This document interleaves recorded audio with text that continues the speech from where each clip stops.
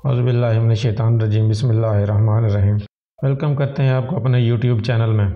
आज हम कुछ बात करेंगे मंसूर अली शाह, जिन्होंने इख्तलाफी नोट दिया इलेक्शन केस के हवाले से। उसकी असलियत क्या है? उसके बाद इमरान खान की जीत होती नज़र आ रही है, क्योंकि सुप्रीम कोर्ट में जो इलेक्शन के हवाले से समात हुई, वो बहुत अहमियत रखती है। लेकिन उससे पहले हम मंसूर अली शाह साहब के बारे में बात करेंगे, जो कि खुद को बहुत ही समझदार जज समझते हैं। ये वो जज हैं जो कि मुकला तहरीक, जब इफ्तार चौधरी की बहाली की तहरीक चल रही थी, उसमें ये नुमाया नुमाया थे। और इफ्तार चौधरी के बहाल होने के बाद, वो तमाम वकला जो कि नुमाया थे, फ्रंट लाइन से लीड कर रहे थे, उन तमाम को इफ्तार चौधरी ने नवाजा, जिनमें इस वक्त के सुप्रीम कोर्ट के जज, सबक chief justice Islamabad high court, justice Athar Minallah शामिल हैं, और उसके बाद जस्टिस मंसूर अली शाह भी उन्हीं में से एक हैं। जस्टिस मंसूर अली शाह तैनाती के बाद इब्तदाई तौर पर भावलपुर बेंच में आकर बैठे। तो ये इतने काबिल जाई थे, उनका किस्सा आज तक भावलपुर और गिरदनवा में मशहूर है कि केस की समात कर रहे थे। काफ़ी सारी जमानतें कबल अज गिरफ्तारी जैसे कि अदालत में लगी होती हैं। उस दिन भी काफ़ी सारी बेल प्री अरेस्ट लगी हुई थी। तो प्री अरेस्ट बेल जो मूव की जाती है, जमानत कबल अज गिरफ्तारी जिसको कहते हैं, वो अंडर सेक्शन 498 सीआरपीसी मूव की जाती है। जो कि एक प्रोसीजर का कोड है। इसका किसी जुर्म से कोई ताल्लुक नहीं होता। तो मंसूर अली शाह साहब इतने काबिल जाई थे, वो अपने लॉ ऑफिसर को बुलाकर पूछते हैं कि क्या वजह है कि आपके इलाके में चार सौ अठानवे के बहुत जुर्म होते हैं। जिस पर लॉ ऑफिसर ने कहा, सर, ये बात हम आपको वक्फे में बताएँगे कि क्या वजह है। जिसके बाद जब ब्रेक हुई तो उसके बाद लॉ ऑफिसर ने उनको समझाया कि, सर, ये ऐसा ऐसा प्रोसीजर कोड है, इसका किसी जुर्म से कोई ताल्लुक नहीं है।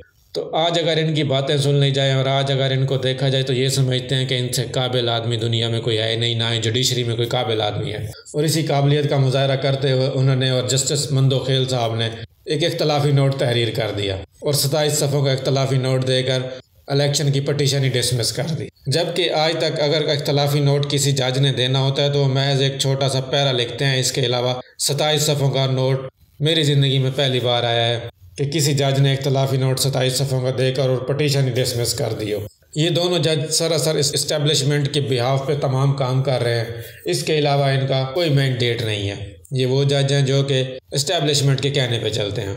इसके बाद हम आते हैं इमरान खान साहब पर। इमरान खान साहब 9 अप्रैल 2022 को माजूल होने के बाद अवाम में आए, तहरीक शुरू की और आज तकरीबन एक साल होने को है, चंद दिन बाकी रह गए हैं। लेकिन इस इम्पोर्टेड हुकूमत की इतनी ज़रूरत नहीं हुई कि ये इलेक्शन करवा सके। इस इम्पोर्टेड हुकूमत में इतनी हिम्मत नहीं है कि ये अवाम में आ सके। इसकी वजह सिर्फ़ और सिर्फ़ इमरान खान की मकबूलियत है। और कोई वजह नहीं है।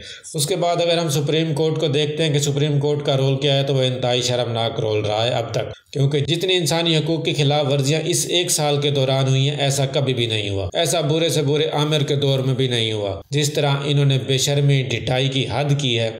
ये इंतहा जुल्म है। एक शख्स को एक पार्टी को दबाने के लिए इन्होंने पूरे का पूरा मुल्क स्टेक पे लगा दिया, दाव पे लगा हुआ है। लेकिन इनको अकल नहीं आ रही। वो अदालतें जो कि 9 अप्रैल 2022 की रात 12 बजे इस इंतज़ार में थी कि हमारी तोहन और हम नोटिस लें। और आज जब इलेक्शन मअतल किया गया है, आइन को मअतल कर दिया गया है, आइन की हुक्मरानी ख़त्म कर दी गई है, वो अदालतें सोई हुई हैं। और आज चीफ जस्टिस और दीगर जजेस ने कहा कि हमारे हुक्म पर तो इम्प्लीमेंट हो गया है, जब सदर ने तारीख दे दी है। चले दे दी तारीख, लेकिन उस पर क्या इलेक्शन हो गया? इलेक्शन तो आगे चला गया।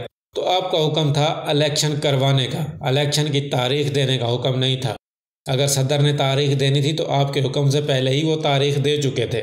इसलिए आपके हुक्म पर कोई तारीख नहीं आई, वो तारीख पहले ही आ चुकी थी। आपके हुक्म पर वो तारीख 9 अप्रैल से बढ़ाकर 30 अप्रैल की गई, लेकिन बाद में वो भी मुअत्तल कर दी गई। जब इलेक्शन का केस जेर समात था सुप्रीम कोर्ट में तो बहुत दिलचस्प मुकालमों का तबादला हुआ, जिसमें चीफ जस्टिस ने कहा कि कुछ दिन पहले मैंने अखबार में एक सुर्खी पढ़ी, जिसमें वज़ीर अजम साहब फरमा रहे हैं कि हमने फरवरी तक पाँच सौ अरब रुपया इकट्ठा कर लिया टैक्स की मद में।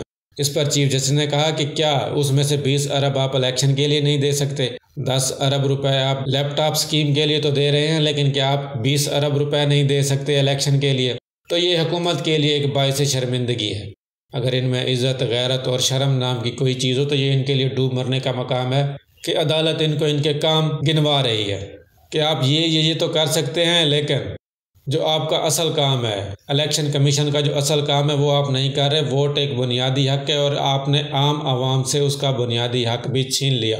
और सुप्रीम कोर्ट की इस समात के बाद हुकूमत इस कदर बुखला गई कि उन्होंने फ़ौर अदालतों में तरमीम करने का सोच लिया। अदालती निज़ाम में तरमीम कर रहे हैं कि ये जो चीफ जस्टिस आज खुद नोटिस लेते हैं, वो किसी तरह ख़त्म किया जाए। आज खुद नोटिस को अब वो पूरे फुल कोर्ट के साथ मशरूत कर रहे हैं। जब तक फुल कोर्ट, सुप्रीम कोर्ट का मंजूरी नहीं देगा, किसी केस का आज खुद नोटिस नहीं लिया जा सकेगा। हमारे मुल्क के जो बुनियादी मसाइल हैं, वो छोटी अदालतों से शुरू होते हैं। लेकिन हुकूमत ने कभी भी इसकी तरफ़ तवज्जो नहीं दी कि कोई ऐसी कानून साजी की जाए जिससे आवाम को सहूलत हो केस जल्दी से जल्दी पाया तकमील तक पहुँचे डिस्पोज हो। लेकिन इनकी तवज्जो इस तरफ़ नहीं है। इनकी तवज्जो सिर्फ़ और सिर्फ़ इस तरफ़ है कि किसी तरह अपने आप को महफूज किया जाए। और इसके लिए वो हर किस्म की कानून साजी करने को तैयार हैं, जिसके बारे में हम पहले भी देख चुके हैं। जिस तरह उन्होंने कबल अजी नैब की तरमीम की और दीगर तरमीम की वह सब हमारे सामने हैं। तो इस हुकूमत से कुछ भी बैद नहीं कि ये अपने आप को महफूज करने के लिए किसी इदारे को भी तबाह कर सकते हैं।